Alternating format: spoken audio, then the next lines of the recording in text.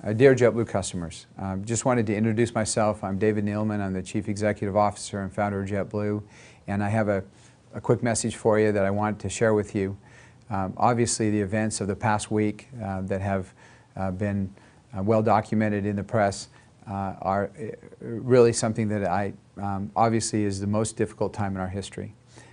and you know, as, as really all challenges, as when they come your way, um, there, there are a couple things that you can do. You can ignore it and pretend like it was an aberration, or you can do an examination and determine if, that's, if there's something that you can do uh, internally to make sure that that never happens again. And I wanted to assure you, as the, as the CEO of this company, that the events that transpired uh, last week um, in the way that they transpired will never happen again.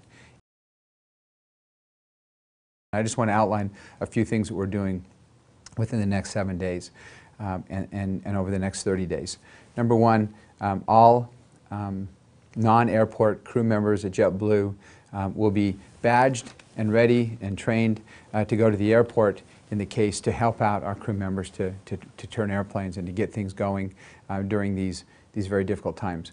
Uh, number two, uh, we are making provisions with our reservationists and um, uh, being able to sp spool them up quickly so that if you have a problem It'll be much easier to get through on the phones and talk to us, and so we can change your reservation in the event your flight is canceled or changed. And number three, we are beefing up the organization that is in um, our headquarters building that is, and, and, this really got to the heart of where, of where our challenges were.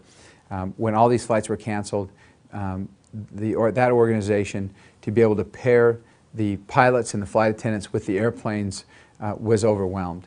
And so we're beefing that up. We're, we're um, being able to triple the size of that organization in, a, in, the, in an irregular operation so that we can quickly pair everybody up so that event doesn't go to day two or day three.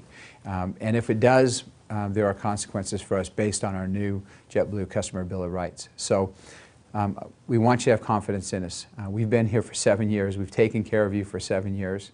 Uh, this um, will be an aberration because we are going to make some major changes in our organization to make sure that it doesn't happen again.